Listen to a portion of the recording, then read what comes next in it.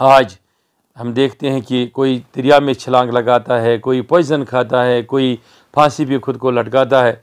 लेकिन इसमें नौजवानों की एक बड़ी तादाद शामिल हो रही है। उन्हें सोचना चाहिए कि उनके वालदेन पे क्या गुजरेगी जब उनके हाँ उनका जनाजा आ जाएगा।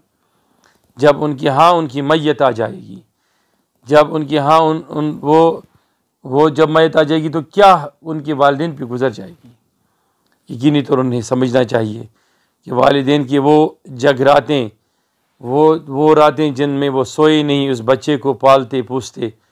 वालदेन की वो तकालीफ जिनसे बच्चे जिनसे बच्चे वाकिफ़ ही नहीं कभी हस्पतालों में चक्कर लगाना, कभी खड़ा होके डॉक्टरों का इंतज़ार करना, कभी छाती से बच्चे को हाँ सुलाना, कभी सर पर बिठाना।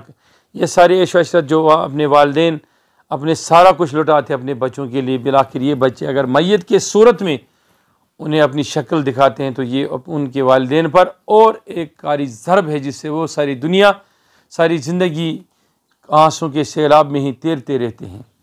इसलिए मैं चाहूँगा कि मायूसी की तरफ़ जाने से पहले अल्लाह की तरफ़ जाना चाहिए।